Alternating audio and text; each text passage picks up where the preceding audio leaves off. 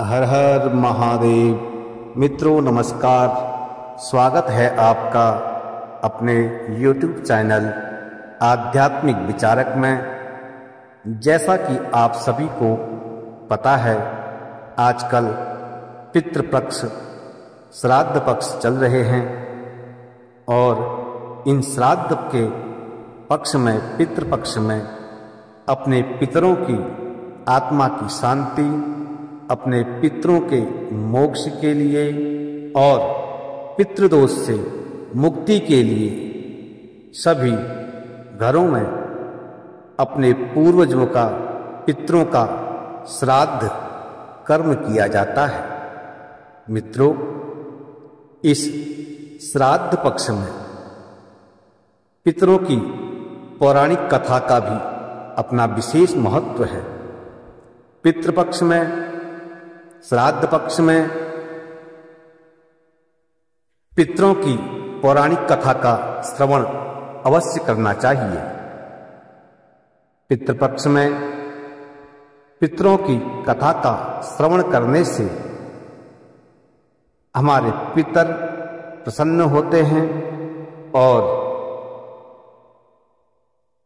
पितृदोष से मुक्ति प्राप्त होती है। तो पितृपक्ष की पौराणिक कथा आइए सुनते हैं। पौराणिक कथा के अनुसार जोगे तथा भोगे दो भाई थे। जोगे और भोगे दो भाई थे। दोनों अलग अलग रहते थे। जोगे धनी था और भोगे बहुत निर्धन व्यक्ति। दोनों में परस्पर बड़ा ही प्रेम था। जोगे की पत्नी को धन का अभिमान था, किंतु भोगे की पत्नी बड़ी ही सरल हृदय की थी।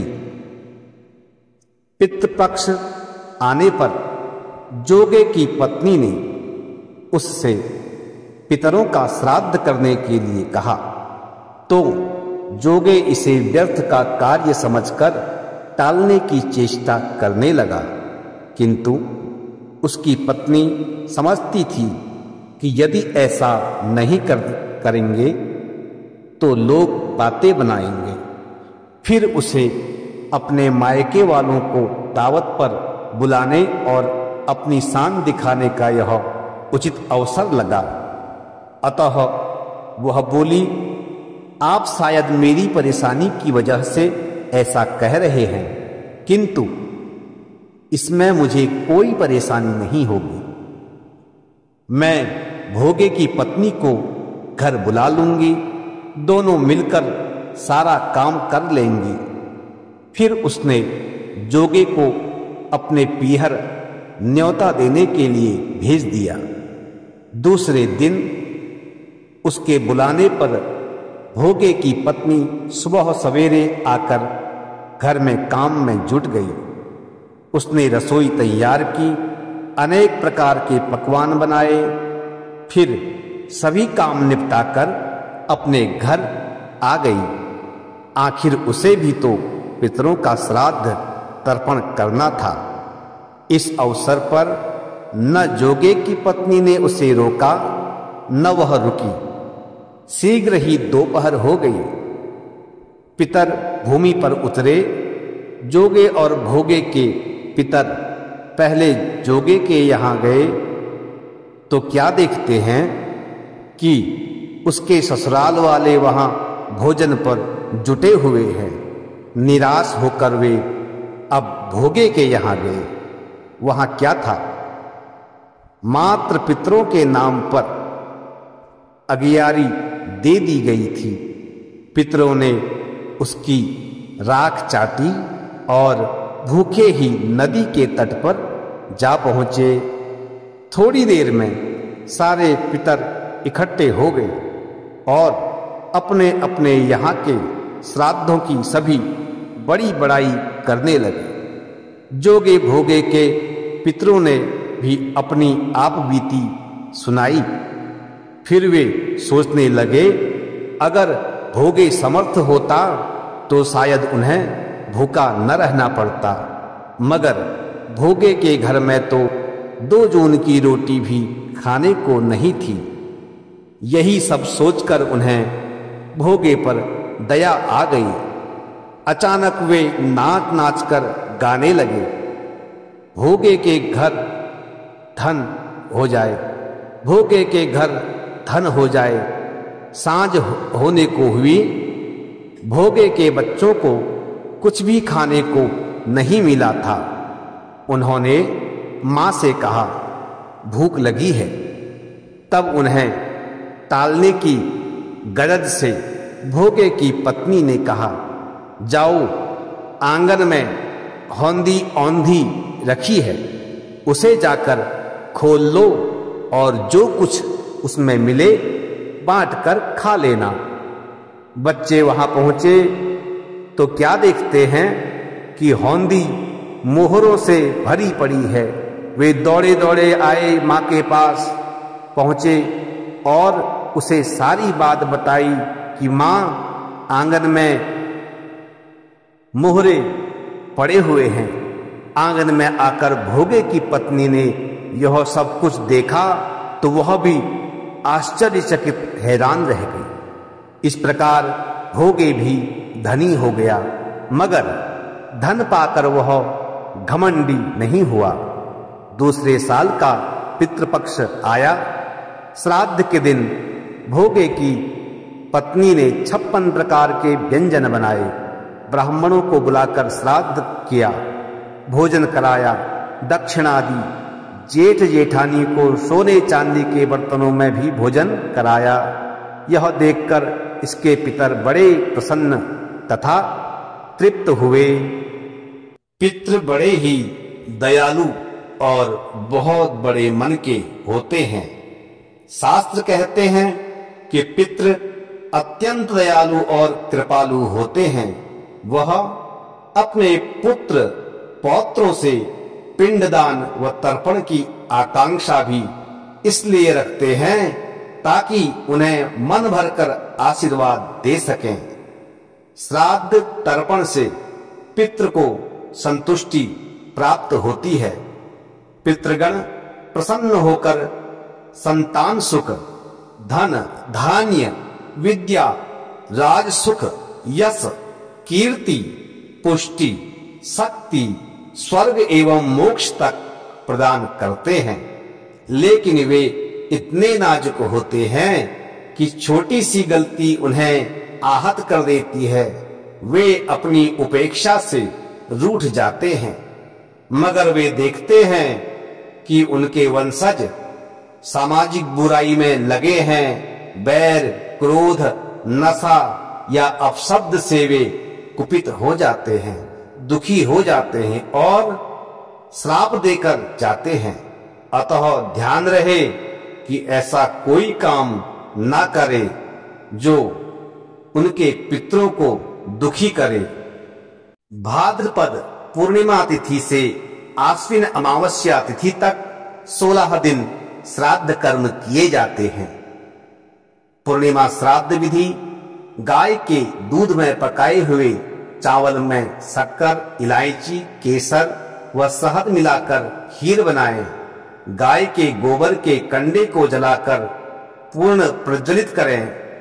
प्रज्वलित कंडे को किसी बर्तन में रखकर दक्षिण मुखी होकर खीर से तीन आहुति दें। सर्वप्रथम, गाय, काले कुत्ते एवं कौवे हेतु ग्रास अलग से निकालकर उन्हें खिलाएँ। इसको ग्रास डालते हुए याद रखें कि आपका मुख दक्षिण दिशा की तरफ़ हो। साथ ही जनेऊ यज्ञोपवीत सभ्य बाई तरह, यानी दाहिने कंधे से लेकर बाई तरफ़ होना चाहिए। इसके पश्चात ब्राह्मण को भोजन कराएँ, फिर स्वयं भोजन ग्रहण करें। तत्पश्चात ब्राह्मणों को यथा सामर्थ्य यथा योग्य दक्षिणा प्रदान करें। मित्रों, ध्यान दें, कहीं आप भी तो नहीं कर रहे हैं। श्राद्ध में यह बड़ी गलतियाँ। अश्विन मास में पितृपक्ष को पूर्वजों के धरती पर आगमन के दिन के रूप में मनाया जाता है। सोलह दिनों तक लोग पितरों के नाम पर दान करते हैं। इन दिनों पितरों के नाम पर जो भी कुछ दान किया जाता है, कि वह स्वर्गवासी पूर्वजों की आत्मा को किसी ना किसी रूप में मिलता है।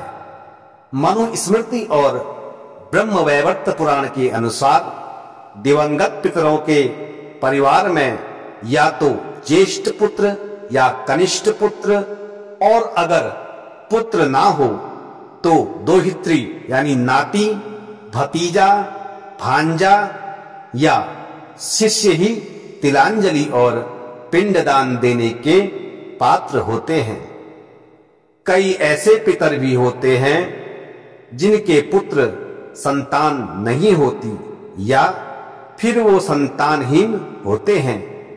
ऐसे पितरों के प्रति आदर पूर्वक अगर उनके भाई, भतीजे, भांजे अथवा अन्य चाचा के परिवार के पुरुष, सदस्य, पितृपक्ष में श्रद्धा पूर्वक व्रत रखकर पिंडदान, अन्नदान और वस्त्रदान करके ब्राह्मणों से विधि पूर्वक श्राद्ध कराते हैं तो पितृ की आत्मा को मोक्ष मिलता है।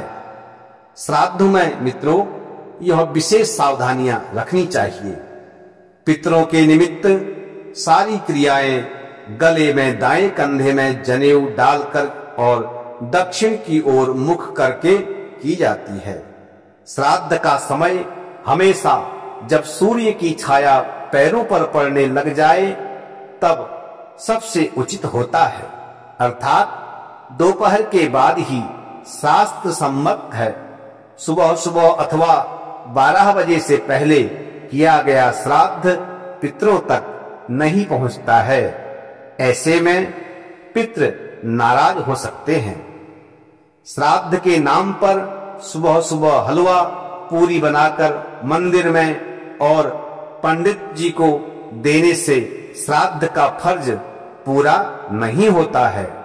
ऐसे श्राद्धकर्ता को उसके पितृगण कोसते हैं क्योंकि उस थाली को पंडित जी भी नहीं खाते हैं, बल्कि कूड़ेदान में फेंक देते हैं, जहाँ सुअर आवारा कुत्ते आदि उसे खाते हैं।